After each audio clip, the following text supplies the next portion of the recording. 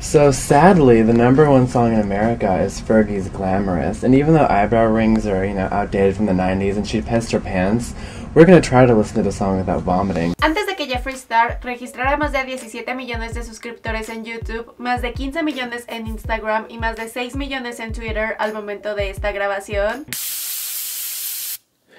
I think that was like $5 coming out the bottle. Antes de que Jeffree Star construyera su propio imperio y una línea de maquillaje ultra exitosa, Jeffree Star Cosmetics. Hey everyone, it's Jeffree Star, and since everyone thinks I'm a self-centered asshole, you should too. Antes de que Jeffree Star y la colección de maquillaje Conspiracy de un millón de unidades que creó con Shane Dawson se vendiera en solo 30 minutos, estableciendo récords de ventas. Oh my god. breathtaking when I stare at it. I kind of want to cry a little bit. I don't. I'm not even just saying that. it just looks so, crazy. Beautiful. I can't God, believe the it. Diet Cola can?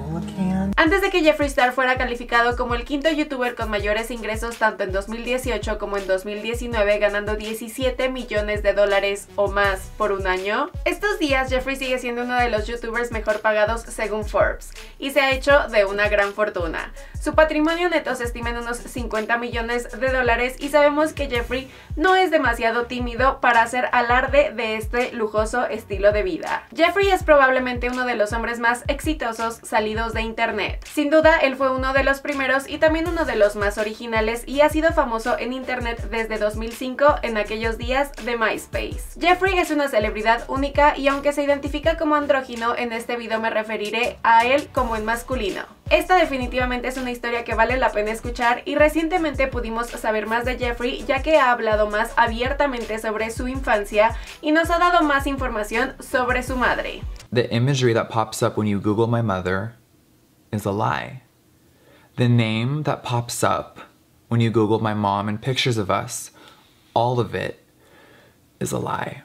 Up until Christmas time of last year, I had not spoken to my mother, my birth mom, in 10 years. Sí, es una historia muy interesante, así es que prepárense.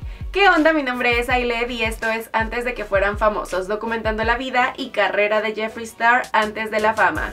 Muchísimos de ustedes me habían estado pidiendo este video y por fin aquí lo tienen. Espero que les guste. Si es así, ya saben lo que tienen que hacer. Y como siempre, síganme diciendo en la parte de los comentarios de quién más quieren que hable en los próximos videos. Bueno, ahora sí, empecemos con esta biografía.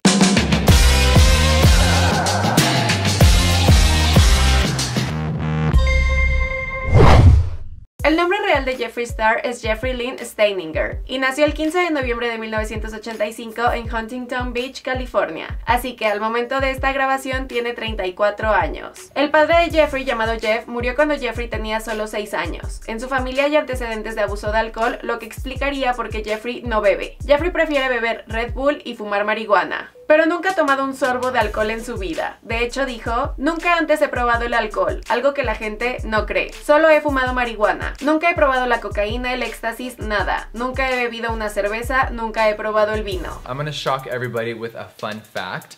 I don't drink alcohol and I've never drank before. So I know a lot of you at home are probably like, yeah, right. I've never drank before. Jeffrey fue criado por su madre, pero recientemente supimos que la mujer que todos estos años creímos que era su madre realmente no lo es. And the woman that I have been posting for the last five years is not my mother. It's crazy because you put us together. I'm about to show some pictures, but if when you put us next to each other, so many people were like, you guys look identical. You guys are twins. You guys look exactly alike. Oh my God. And it's been a lie this whole time. And it started out as like a cute white lie.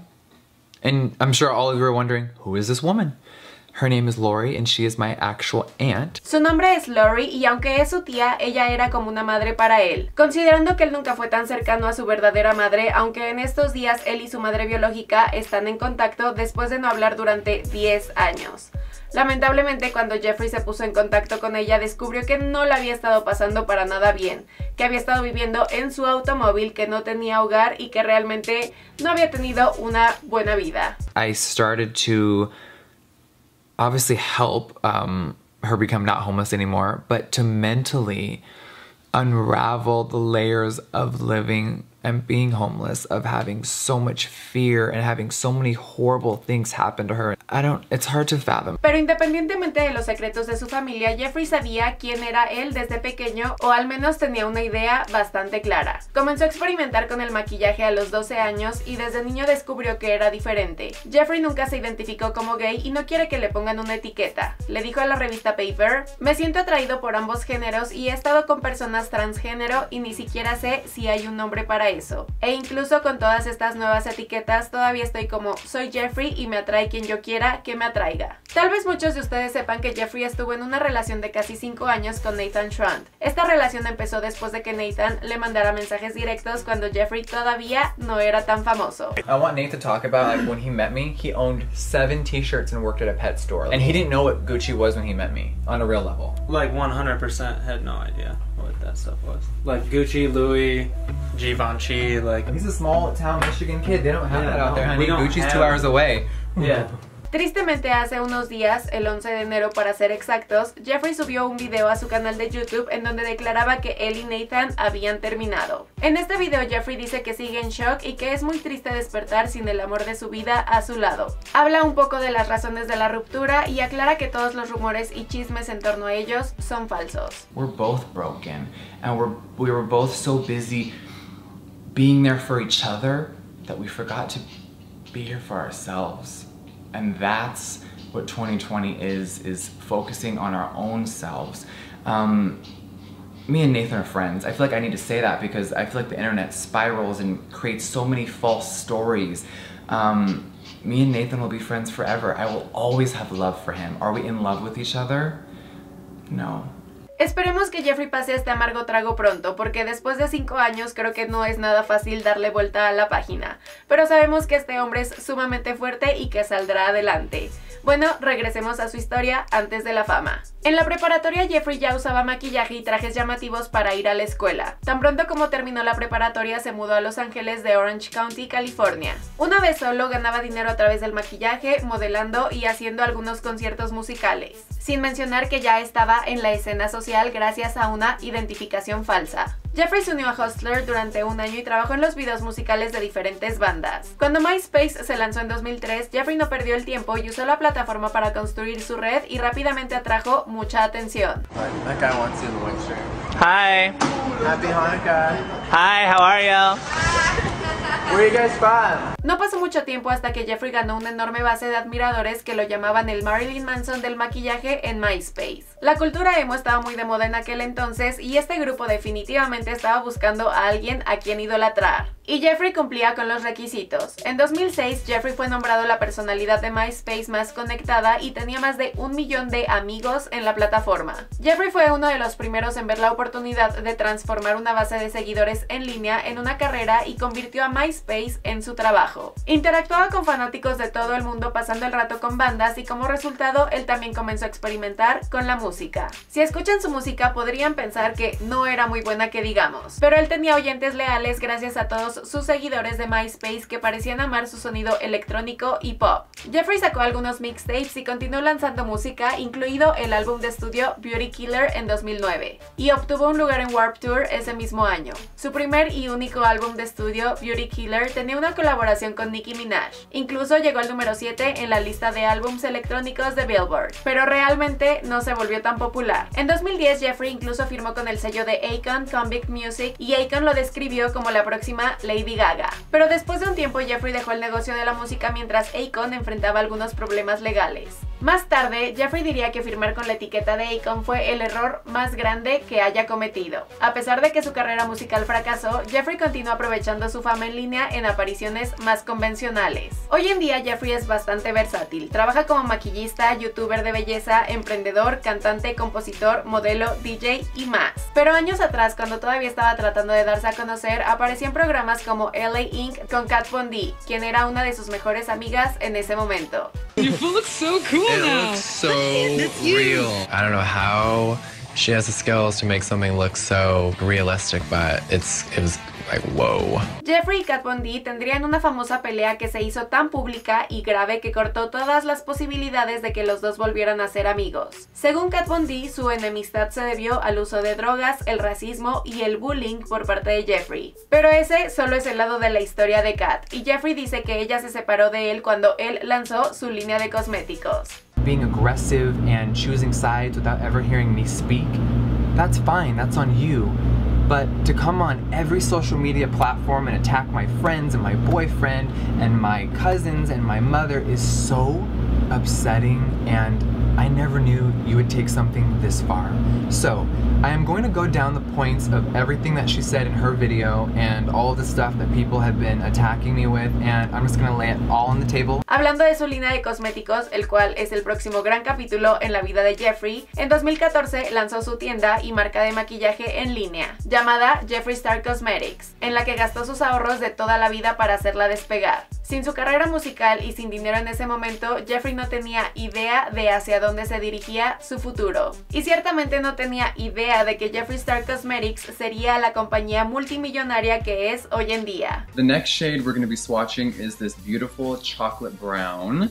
This one is called Dominatrix. I want to wear this to Target. I want to wear this to IKEA. Aunque el canal de YouTube de Jeffrey dice que se abrió en 2006, no comenzó a usar la plataforma de manera consistente hasta 2015, por lo que técnicamente empezó tarde. Lo que no se creería de alguien que es ahora uno de los creadores con mayores ingresos y que genera más de 17 millones de dólares al año solo con YouTube. Un año después, en 2016, el canal ya había superado más de un millón de visitas diarias y más de 2 millones de suscriptores.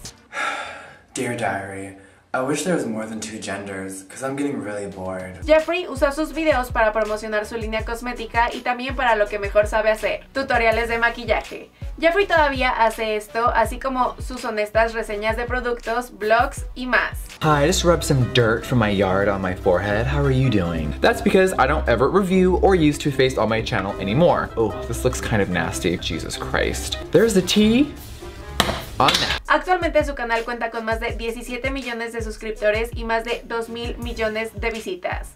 Jeffrey es considerado uno de los influencers de belleza más ricos y exitosos de todos los tiempos y la revista Bustle lo llamó un músico y alguna vez celebridad de MySpace que se reinventó en el espacio de tutoriales de maquillaje de YouTube. Bueno, y como saben, otra de las influencers de belleza más ricas del mundo es Kylie Jenner, con quien Jeffrey ha tenido uno que otro problemilla, los cuales empezaron cuando, según él, ella copió el empaque de sus labiales y siguieron cuando reseñó su set de brochas, ya que dijo que eran de mala calidad. Y miren, yo no me metería con las Kardashians, pero este hombre ya saben que no tiene pelos en la lengua. Um, but overall, for $360 plus tax and plus shipping, there is no way in hell I'm gonna recommend to my audience that you guys buy basically a $400 brush set that you cannot touch or feel because of course she's only an e-commerce brand. I know some people think that's shady. I just think that it's smart and fair for you guys because this brush set with this cheap old vegan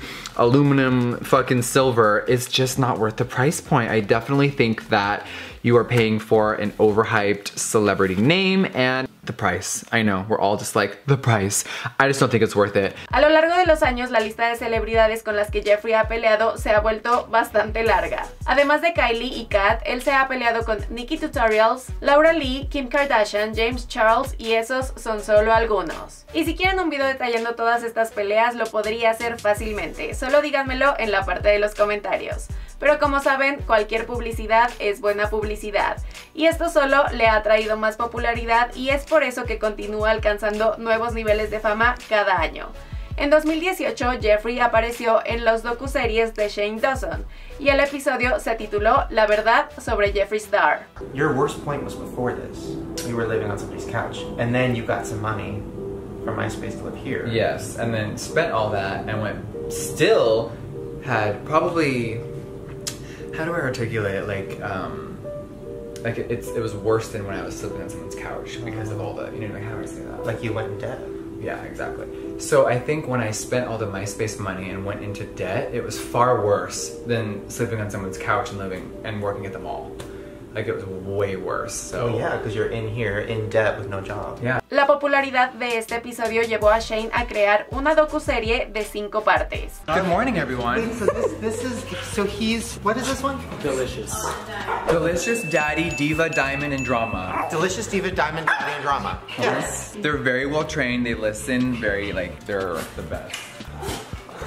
Esto fue un éxito tremendo y es por eso que en 2019 hicieron la segunda serie de documentales de YouTube titulada The Beautiful World of Jeffree Star.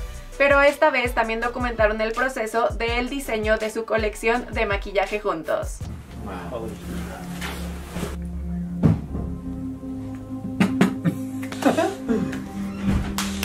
Okay. Oh my god. Oh my god. What do you think, Andrew? Holy! The Beautiful World of Jeffree Star tuvo 7 episodios desde octubre de 2019 hasta finales de noviembre de 2019. La serie generó un total de 130 millones de visitas y solo el trailer obtuvo 10 millones de visitas en la primera semana. ¿Y la colección de maquillaje en la que estaban trabajando Jeffree Shane? Bueno, esa fue la colección Conspiracy que terminó vendiendo un millón de unidades en solo 30 minutos. Esto estableció nuevos récords tanto para Jeffree Star Cosmetics como para la industria de la belleza. Es obvio que Jeffree ha recorrido un largo camino desde que estaba en la quiebra a la creación de su línea de cosméticos. Ahora aparece en la lista de youtubers mejor pagados cada año. Pero como vieron, esto no fue fácil. El hombre ha trabajado duro para construir su imperio, el cual tiene un valor de 50 millones de dólares. Así es que estoy segura de que solo seguirá creciendo. En cuanto al resto de la historia, bueno, pues creo que prácticamente esto fue todo porque esto fue antes de que fueran famosos. Como lo dije, creo que podría hacer un video de las peleas de Jeffree Star y también estaba pensando en hacer el house tour de su nueva mansión de 15 millones de dólares. Si eso es algo que les interesaría ver, por favor díganmelo en la parte de los comentarios. Y si el video les gustó, denle like y compártanlo. Y pues nosotros nos seguiremos viendo en otros videos. Les mando muchos besos y saludos a todos y nos vemos pronto. Bye!